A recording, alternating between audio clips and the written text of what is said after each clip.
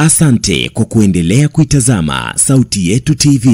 Kama bado huja subscribe Sauti Yetu TV, gusa kitufe chenye alama nyekundu kisha alama ya kengele ili uwe wa kwanza kupata habari na matukio mbalimbali. Hii ni Sauti Yetu TV. Kwa sasa kuna vituo vitano vya CNG vinavyofanya kazi katika mikoa ya Dar es Salaam, Ubungo Maziwa, Tazara na uwanja wa ndege, Pwani, Mkuranga na Mtwara Dangote.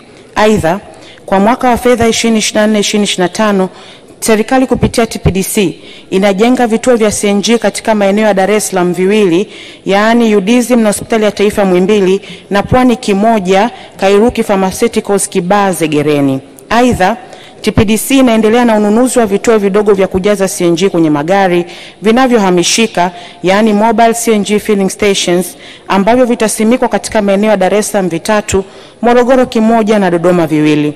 Kwa upande wa sekta binafsi, kampuni ya Taka Diabetes inaendelea na ujenzi wa kituo cha CNG katika mkoa wa Dar es Salaam, barabara ya Sam Nujoma, eneo la Posta. Pia kampuni ya Enejo inaendelea na ujenzi wa kituo cha CNG eneo la Mikocheni, Dar es Salaam, na kampuni ya BQ inaendelea na ujenzi wa kituo cha CNG katika eneo la Goba, Dar es Salaam. Kuhusiana na mkakati wa serikali wa kubadilisha magari ya serikali kwenda kwenye mifumo ya gesi, kwa kweli kama serikali jambo hili tunalihitaji sana, kwa sababu lina manufaa makubwa sana, ikiwemo kupunguza gharama na matumizi.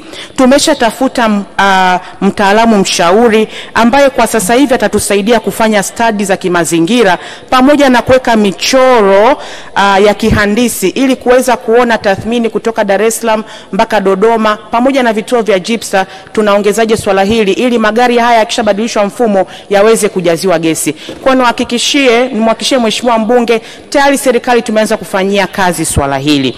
La pili, kuhusiana na karakana, kwa kweli kwa kushirikiana na sekta binafsi tunao mkakati mahususi wa kuhakikisha mpaka itakapofika Disemba 2025 tuna zaidi ya vituo 30. Kwa kweli jambo hili kama serikali tumelibeba kwa dhati kwa ajili ya kuendeleza jitihada za Mheshimiwa Rais za kutumia nishati safi, sio tu ya kupikia, bali katika maeneo mengine kwa ajili ya manufaa kwa mazingira yetu na manufaa mengine ya kiuchumi. Mhakikishie Mheshimiwa mbunge, tayari tumeanza kwa Dar es Salaam kwa ajili ya vituo na karakana, na tutafanya hivyo hivyo kwa kadri muda unavyoenda kwa ajili ya mikoa mingine.